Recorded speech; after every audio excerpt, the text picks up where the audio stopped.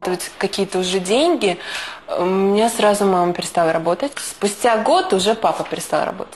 То есть у меня родители дома сидят. Вспомни, посмотри, посмотри, Да, какие да, ели да. стали. Да, кстати, ну это всегда елочки были. Памятник Зои Анатомии Космодемьянской. Ну это же Да, все это- твое, вот все прошлое твое. Школа имени Зои Космодемьянской. Здесь училась будущая супермодель. Вот это моя родная школа, номер 99, в которой как бы я проучилась с 1 по 11 класс.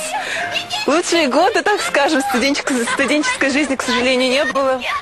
Но это было супер. Здрасте. Сегодня герои Советского Союза Зою Космодемьянскую вспоминают два раза в год, в праздник Победы и в день ее рождения. А Жене Володиной вспоминают чуть ли не каждый день. Она – героиня нашего времени. Даже преподаватели постоянно зазывают Женю прийти в школу и рассказать ученикам о том, как она покорила весь мир.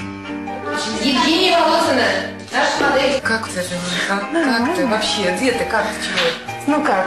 Ну, Париж тоже основательно. Ну, я сейчас между Парижем и Нью-Йорком, в принципе. Вспомни свою юность детства. Садись, сделай со вторым. Да, да, да. Евгения. Бюджи, Ю, Да, Ю. Ю. Но они не могут сказать Евгения. Можно автограф? Можно. Да, конечно. Как тебя зовут? Лена. В школе Женя очень комплексовала из-за своего роста и худобы. В 14 лет она была на голову выше своих одноклассников. Мальчишки дразнили Женю каланчой и на свидание приглашали ее подруг. Я сейчас на нее смотрю, она совершенно... Ну, ну. У нас вообще в классе девочки были очень яркие, красивые Да. девочки. Многие танцевали, пели хорошо. Я смотрела эти журналы глянцевые, мне, я видела этих топ-моделей, Линда с, там, Синди Кроуфорд, и мне так хотелось быть наряду с ними. Меня это всегда привлекала фотография, знаешь, то есть всегда стоять перед камерой, что-то там делать, какие-то образы. Это было для меня всегда очень интересно, но в то время я была слишком стеснительным ребенком, и для меня это было немножко тяжело раскрыться как бы сама. В 14 лет подруга привела Женю в модельное агентство.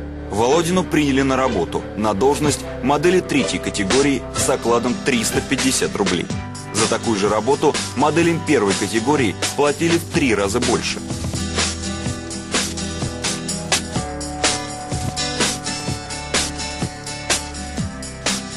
К двум я должна была приходить э, на работу.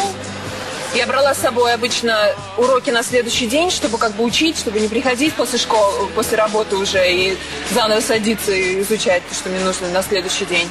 Вот так, и с, с- с двух до шести я должна была находиться здесь, на своем рабочем месте. Вот, отсиживать. В модельном агентстве на Володину никогда не делали ставку. Заказчикам она не нравилась, слишком зажатая. Фотографы считали, что в лице Володиной не хватает какой-то изюминки.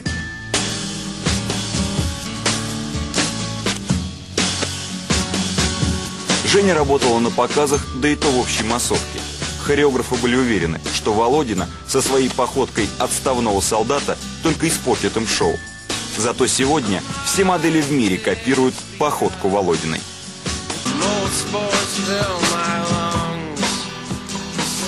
Меня все время ругают за то, что когда я при ходьбе, у меня не выпрямляются коленки. Вот. Но однако после всех этих придирок ко мне, все-таки у меня считается самая лучшая походка в модельном бизнесе, естественно, на Западе. То есть, наверное, не зря ругали. В 99 году Женя Володина подала заявку на конкурс «Мисс Реклама». В то время такие конкурсы были для моделей стартовой площадкой. Модельные агентства росли как грибы, а работы для девушек почти не было. Единственная возможность выделиться из армии таких же моделей – это занять призовое место на каком-нибудь конкурсе красоты. Корона победительницы гарантировала выгодный контракт, славу и деньги. А, Я прошла в десятку. Была неделя, которая я не ходила в школу, а целыми днями висела на этих репетициях. Это было просто ужасно. Мы заканчивали, начинали с 9 и заканчивали в 3 утра. Это был жесткий просто график.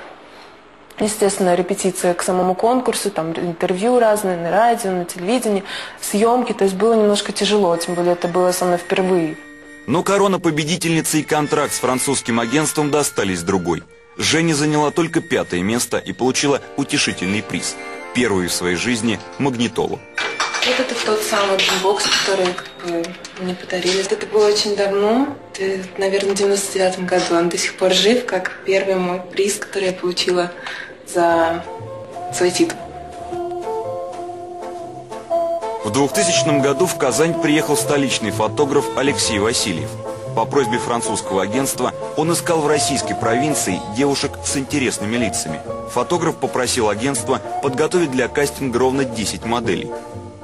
Девять манекенщиц, за которых не будет стыдно, в агентстве нашли без труда. Не хватало десятой. Десятый для ровного счета и взяли Женю Володину. Когда нам сказали, что будет кастинг для парижского агентства, естественно, все девочки накрасились. Я помню, у меня была какая-то жутко красная помада, черные глаза, это было ужасно. И когда уже с непосредственно на кастинге нас выбрали пятерых девочек, я не знаю, как он выбрал. Это было тяжело на маску смотреть, наверное. Ну, сказал, пойдите смыть. Да, и, естественно, надо было смыть косметику.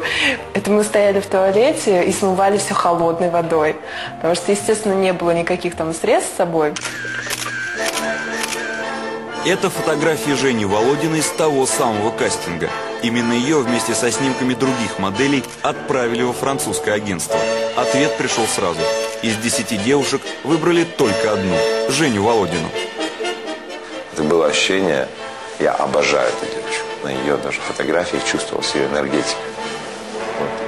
Класс, ее аристократизм. Я думаю, даже некоторые были удивлены, что меня как бы выбрали. Я была таким немножко гадким утенком, но я была не, сформи- не сформировавшейся, не сформировав... Май гад. В июне 2000 года Володину пригласили на работу в Париж.